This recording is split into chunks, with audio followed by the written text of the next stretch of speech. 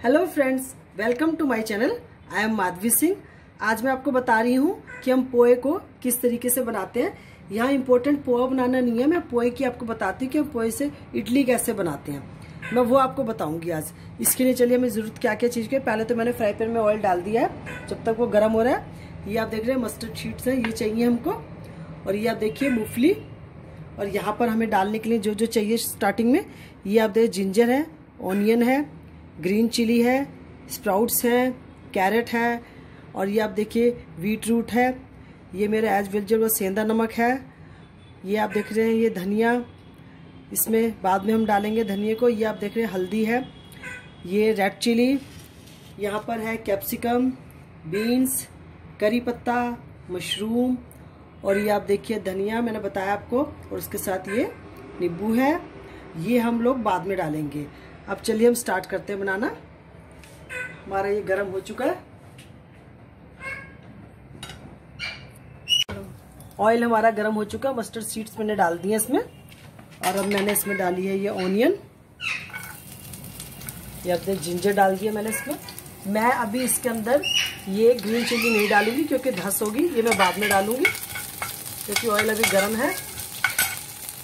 और जो चीज़ थोड़ा सा उसमें होने में टाइम लेती है, उससे पहले डाल देंगे। देखिए, मूंगफली भी डाल दिया मैंने। मूंगफली थोड़ी सी जब भून जाएगी। अगर आप चाहें तो इसके अंदर पालक भी डाल सकते हैं। वो मैं इसलिए डाली, फिर बहुत ही ग्रीन ग्रीन सा हो जाएगा। हमें थोड़ा इसको कलरफुल रखना है। ये देखिए, मैंने बीन्स भी डाल दिए इसके अंदर। अब ये मैं इसमें कैरेट डाल रही हूँ।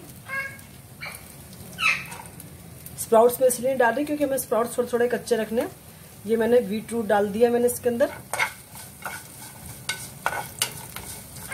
टमाटर।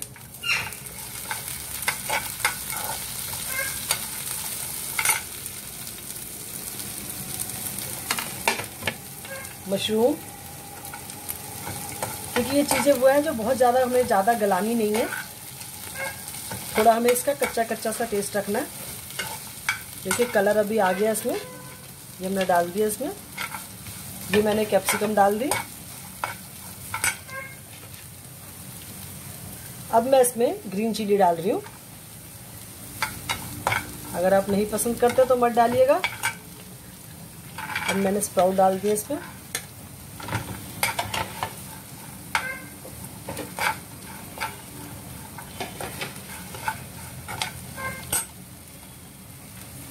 और अब मैं इसमें ये नमक डाला। जैसे कि मेरा सेंधा नमक है, मुझे इसको थोड़ा सा हाथ से तोड़ना पड़ेगा।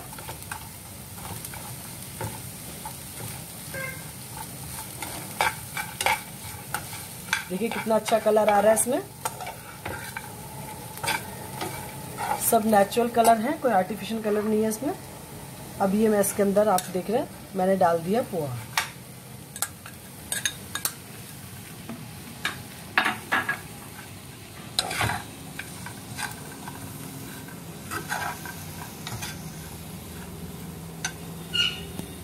अब मैं इसके अंदर ये हल्दी भी डाल दी और मैंने चिल्ली भी डाल दी है। ये देखिए हमारा इसमें ये बन चुका है। इसको पहले ही ये देख रहे हैं, मैंने इसको हीट में कर चुके हैं। पहले इसको मैंने गर्म हो चुका है मेरा। मैं इसमें ऑयल लगा रही हूँ। ये देखिए पहले जो मेरा मिक्सचर है, मैंने सूजी को ले रखा था। सूजी में दही में और नमक में डाल के इसके घोल को मैंने कर रखा था तैयार। घोल थोड़ा पतला था। ये देखो, मैंने चारों तरफ़ से इसको फैला दिया ताकि हमारी जो पोहा है, उसको एक बेस मिल जाए अच्छे से।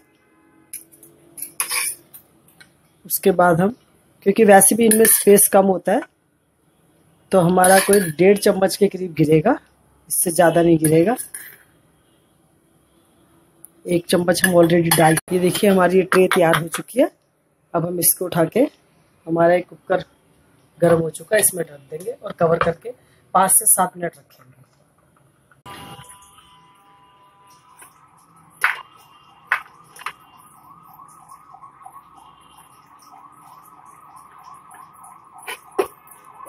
इसका ग्रीन चटनी के साथ देंगे।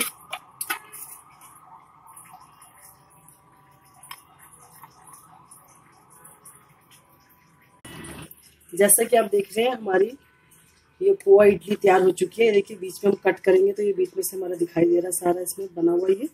ये देखिए, सब दिख रहा है इसमें से। ये देखिए, ये इसको चटनी के साथ और म्योनी के साथ खाइएगा, बहुत अच्छा लगेगा, थोड़ा डिफरेंट टेस्ट आएगा।